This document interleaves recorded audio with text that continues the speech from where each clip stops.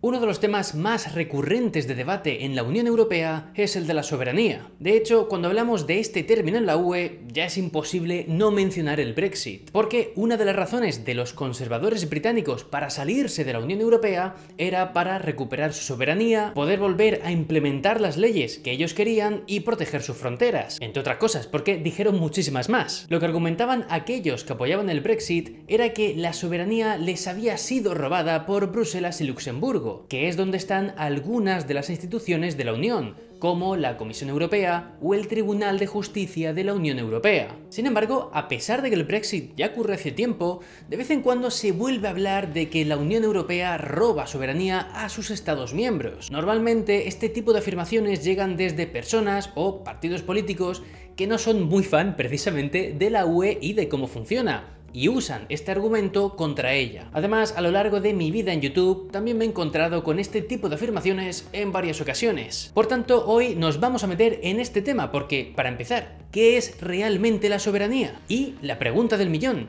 ¿se puede afirmar que la Unión Europea nos roba soberanía? A esto vamos a responder el día de hoy, gracias a que la buena gente de mi tierra, la oficina del Europe Direct de la región de Murcia, ha patrocinado este vídeo. Dadle amor a esta oficina y a este vídeo con un buen like y suscribiéndose al canal que comenzamos.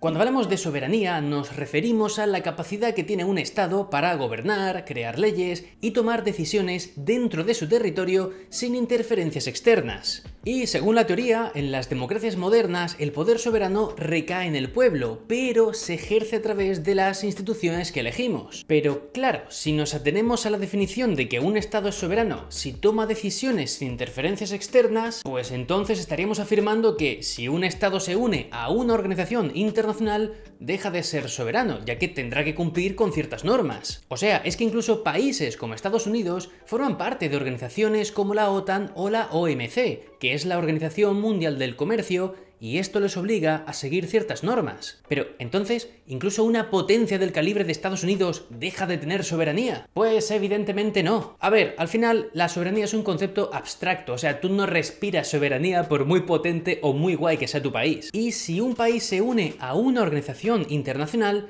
no es que deje de ser soberano por completo, sino que sacrifica y cede parte de su soberanía con el fin de obtener otros beneficios. Por esta razón, prácticamente todos los países del mundo se dieron cuenta de que les salía rentable perder algo de soberanía al entrar en la OMC, porque a cambio ganaban en el aspecto comercial. Y esto no es ningún secreto, o sea, cuando un país firma cualquier tratado internacional, eso significa una pérdida de soberanía, pero no de toda. Por esta razón, cuando el Reino Unido alegaba que se marchaba de la Unión Europea para recuperar su soberanía y crear sus propias leyes, yo entiendo que se olvidaron de que seguían formando parte de otras organizaciones internacionales. O sea, a pesar de que el Reino Unido ya no esté sujeto a las normas de la UE, la legislación británica sigue subordinada, digamos, a la Organización Mundial de la Salud, el Fondo Monetario Internacional, la Corte Penal Internacional, o el Tribunal Europeo de Derechos Humanos, del cual por cierto ya plantearon salir cuando Boris Johnson estaba a la cabeza del país. Pero bueno, esto ya lo conté en mi canal secundario de YouTube, Karinlandia, y podéis ir a verlo allí. Entonces, volviendo al tema. Cabe aclarar que los británicos no mentían cuando decían que iban a recuperar soberanía, pero era tan solo una parte de ella la que le había quitado la Unión Europea. Y esta es la pregunta que toca responder ahora. ¿Se puede afirmar que la UE roba soberanía a sus Estados miembros? Como acabamos de ver, en el mundo actual, con la globalización y la interconexión que existe entre los países, al final la soberanía absoluta de cualquier Estado es cada vez más difícil de mantener. Y dentro de este panorama internacional, la Unión Europea es un ejemplo más, con sus particularidades, de cómo los países reconocen la necesidad de cooperar entre sí en ciertos temas, sobre todo si se trata de desafíos globales, como el terrorismo o la migración, por ejemplo. Pero, ojo cuidado, porque la Unión Europea como ente no va robando soberanía a sus Estados miembros, porque son estos los que la ceden a ella al firmar una serie de tratados. Y aquí volvemos al punto del inicio, porque los países ceden de manera voluntaria parte de su soberanía a cambio de obtener beneficios, como un mercado común, mayor seguridad, coordinación en las políticas y, con todo esto, un mejor flujo de sus poblaciones por temas turísticos, laborales o familiares. Por esta razón, los más europeístas, que es el término que se utiliza para aquellos que están a favor de la UE, dicen que la Unión no roba soberanía, sino que, en todo caso, la comparte con los países y la amplía, ya que les ayuda a aumentar su influencia en el mundo al actuar la UE como un bloque unido. Por tanto, estos argumentos ven a la Unión Europea como una adaptación al mundo actual interdependiente y no como una pérdida de soberanía para sus Estados miembros. Pero claro, entonces, ¿por qué hay gente que afirma que la Unión Europea nos roba soberanía? O sea, ¿cuáles son los argumentos? Los más euroescépticos, que son aquellos que no les gusta la Unión Europea, o al menos que ésta tenga tanto poder, defienden que la UE roba soberanía a los países porque hay decisiones que se toman a nivel europeo que pueden afectar a las leyes y políticas nacionales. Y por este motivo les preocupa que la excesiva burocracia de la UE y sus regulaciones puedan limitar la capacidad de los gobiernos nacionales para que tomen decisiones sin interferencias externas. Y claro, esto puede derivar en que los gobiernos no atiendan y no cubran las necesidades específicas de su población. Ahora bien, hay que dejar claro que no todos los actos legislativos de la UE son vinculantes, es decir, de obligado cumplimiento. De hecho, incluso existe un tipo de ley, las directivas,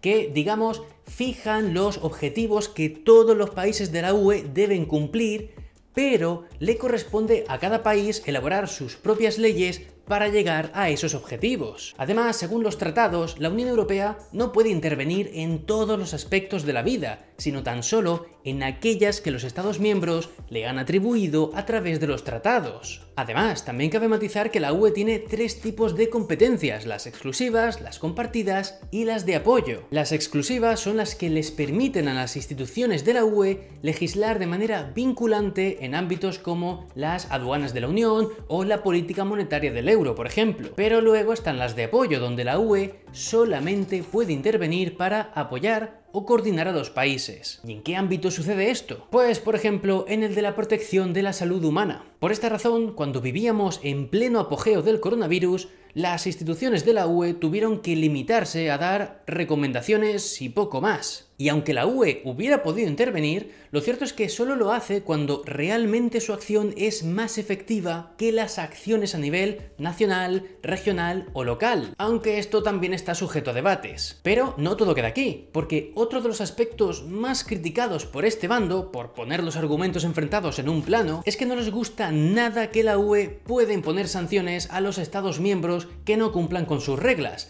ya que consideran que esto es como una violación de la soberanía. Y estas situaciones han sido bastante frecuentes en los últimos años, siendo muy sonados los choques y las multas que la Comisión Europea les ha impuesto a países como Polonia y Hungría. Ahora bien, aquí cabe mencionar que más allá de la Unión Europea, hay otras organizaciones que podrían sancionar a los 27 Estados miembros, porque también les cedieron parte de su soberanía. Con esto quiero dejar claro una cosa que no se puede contraargumentar, y es que salirse de la Unión Europea no le da a ningún país la soberanía absoluta. Pero seguimos, porque este bando también suele quejarse del déficit democrático en la UE, algo de lo que en algún momento hablaré por aquí, así que suscríbete para estar al tanto. Los más críticos argumentan que los dirigentes de las instituciones de la UE son distantes y menos responsables ante los ciudadanos por las decisiones que les acaban afectando a nivel local. Ante esto, el bando europeísta suele mencionar al Parlamento Europeo y a sus eurodiputados, que son los representantes nacionales que elegimos en las elecciones europeas. Pero claro, puede que entre esos eurodiputados de tu país no haya ninguno de tu ciudad, por lo que ya no estarías tan bien representado. Sin embargo, aquí nos solemos olvidar del Comité de las Regiones, que es un organismo consultivo de la UE y que es donde se reúnen representantes de todas las ciudades y regiones de la Unión Europea. Y las instituciones de la UE que legislan tienen que consultar al Comité de las Regiones a la hora de elaborar leyes, porque de lo contrario, el comité puede acudir ante el Tribunal de Justicia. Y así es como los intereses de todos los rincones se tienen en cuenta a la hora de elaborar leyes en la UE. Pero bueno, al final todo este debate sobre la soberanía y la Unión Europea depende en gran medida de las prioridades que tenga cada uno. Así, mientras algunos prefieren los beneficios de la cooperación y una mayor influencia en el mundo al estar en la UE, otros prefieren mayor independencia y control en las decisiones nacionales. Pero, que quede claro, la Unión Europea no roba soberanía a los Estados miembros, porque estos la ceden de manera voluntaria. Y en todo caso, la UE estaría robando soberanía si se demostrase que se está extralimitando en sus competencias sin el acuerdo de los países que la conforman. Esto es un resumen que creo que responde más que de sobra a la pregunta del vídeo, porque creedme que hay muchísima más información que podría meter. Pero si queréis saber más, como del Comité de las Regiones, por ejemplo, podéis ir a la web del Europe Direct de la región de Murcia, donde os explican esto y otras cositas de la Unión Europea. Muchas gracias por haber visto el vídeo, si os ha gustado, dejad un buen like, suscribiros al canal, decidme en comentarios qué opináis sobre todo esto y ya nos veremos en la próxima.